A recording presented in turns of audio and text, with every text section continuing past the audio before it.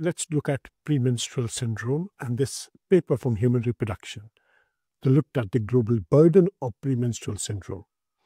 This research covered around 204 countries and territories, revealing that PMS affects nearly 1 billion women worldwide, with cases increasing by 46.5% over three decades.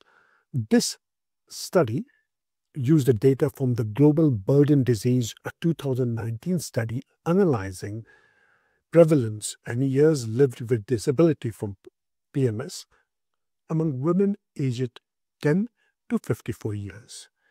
Key findings showed that while the number of PMS cases increased significantly, importantly, research highlighting significant regional disturbances and the burden of PCOS is highest in low middle socioeconomic index countries and lowest in high socioeconomic index countries.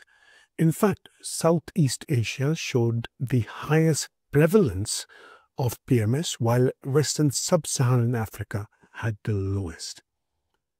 This study also found that the PMS prevalence peaks at around 40 to 44 years of age, emphasizing that we need intervention for women in this range age group.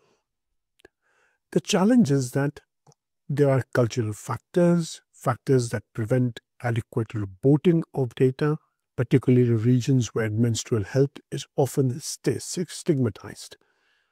In fact, this study also highlights the importance of addressing PMS not just as a health issue, but as a factor affecting overall quality of life, work and productivity, and societal participation.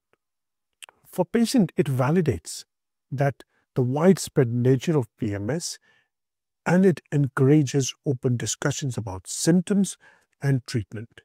For clinicians, it's, it's again an extremely important factor that we address and look at this as a much more serious matter.